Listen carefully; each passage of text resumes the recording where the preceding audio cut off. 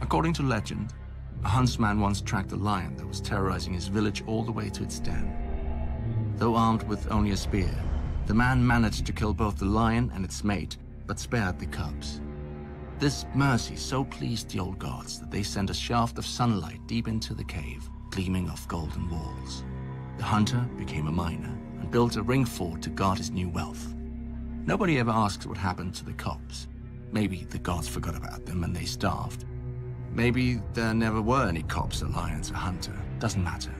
Someone found enough gold in that cave to buy whatever truth he wanted, along with a castle that he'd name after his new family. Casterly Rock. Thanks to that gold, Casterly Rock soon became the largest, wealthiest, and best defended castle in Westeros. An army that struggled up the main approach would still have to climb thick, high, and well-defended walls. Should they choose instead to lay siege, the sea helpfully carved a massive cave beneath the castle, which over time became a private port complete with docks, wharves, and shipyards. And so, to this day, even with all the gold in Westeros to tempt invaders, Casterly Rock has never fallen.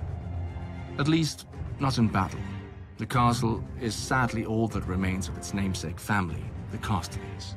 According to another legend, my ancestor, Lann the Clever, swindled the castle from them. The most common story is that he found a hidden cleft in the rock and snuck into the castle. At night, he whispered threats into sleeping ears, howled in the darkness, planted one brother's treasures in the room of another, and so forth.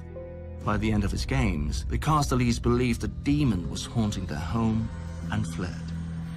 My brother prefers a different version. Lann the Clever did find a secret entrance into the rock, but used it to have his way with the Casterly maidens. Eventually, the girls gave birth to golden-haired bastards, and the Casterlys had no choice but to accept their father into the family. In gratitude, he changed the family name to honor himself, and House Lannister was born. The Casterlys used the gold of the rock to become lords. The Lannisters became kings. For thousands of years, the Kingdom of the Rock ruled the Westerlands.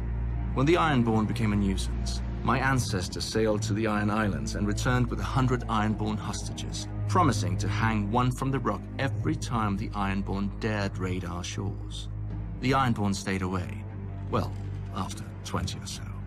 When the Andals arrived after sweeping across the rest of Westeros, we invited their sons and daughters into the rock as squires and court ladies. I don't think we ever had to hang any of them. Finally, Aegon the Conqueror defeated us on the Field of Fire, and my ancestor knelt. Still, little changed but titles and taxes.